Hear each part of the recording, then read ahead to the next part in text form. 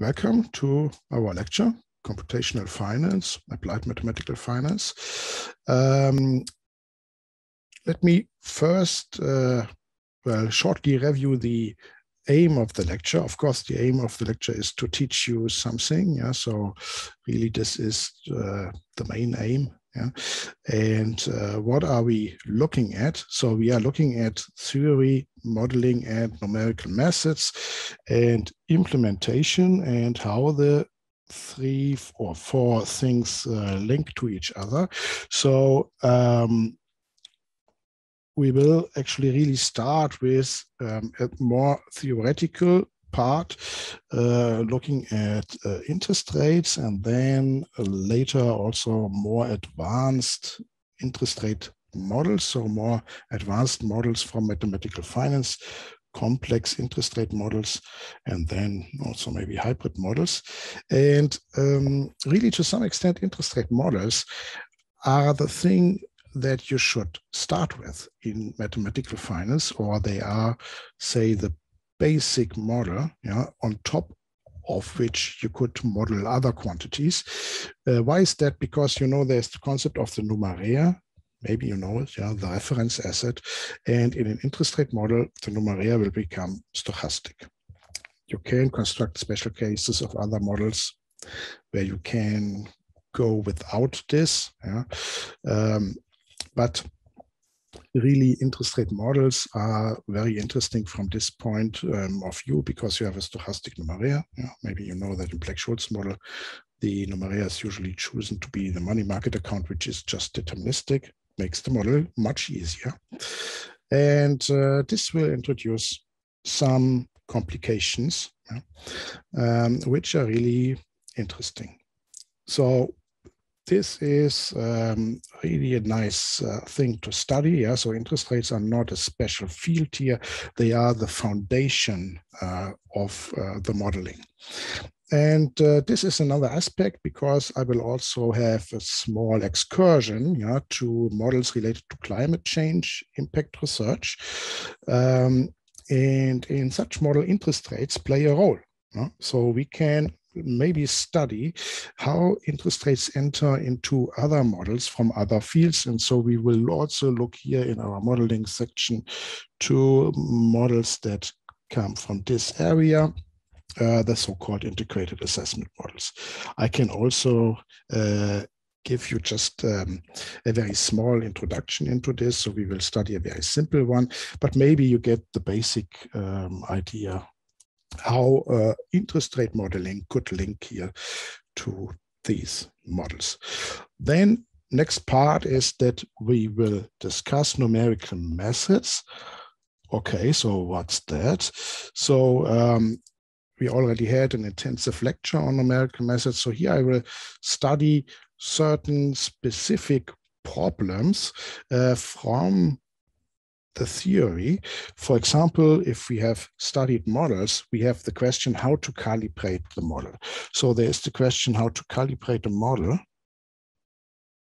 which is find the best parameters of a model. And this is then related to a numerical method. So for example, a root finder yeah, to just find a solution of an equation or an optimizer, so to find the best fit uh, parameter set. Um, so you already see that uh, this links the theory to the numerical method. So we will not study numerical method separately yeah, in, a, in a separate session. So sometimes a problem will come up yeah, from our modeling session, and then we will discuss the numerical method.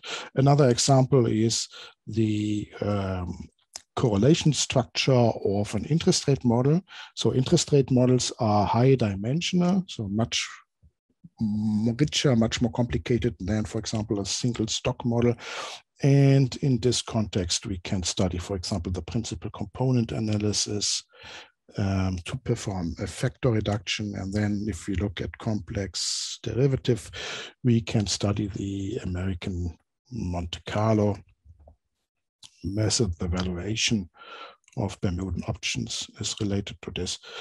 Uh, and in that context can we can have a look at linear regression.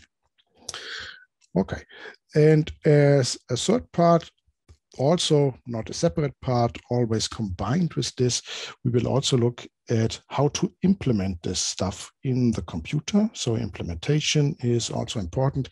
And um, by looking at this, I like to teach you some design patterns. So uh, it's not a quick and dirty implementation, yeah, just to get the result uh, quickly. So we also ask ourselves, okay, what is a good design such that we can extend later our solution, yeah, that, we can easily generalize it.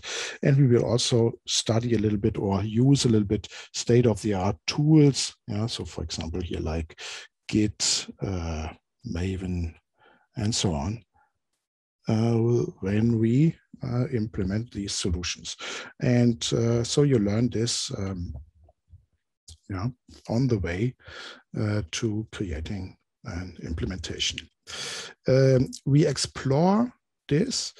Uh, so the numerical methods in a computer, of course, this is our laboratory. So the nice thing is that the computer here is our laboratory.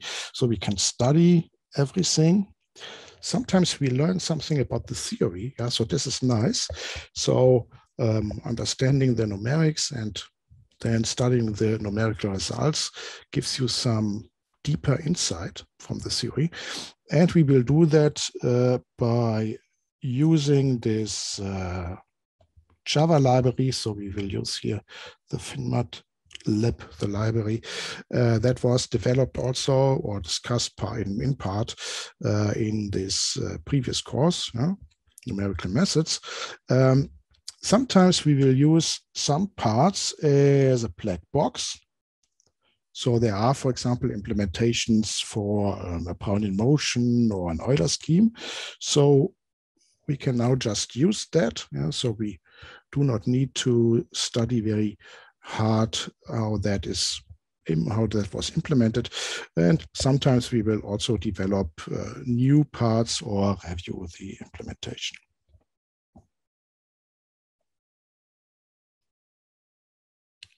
Okay, so that's my plan for the uh, lecture. Um, study theory, modeling, numerical methods, and the implementation and how the fields linked to each other.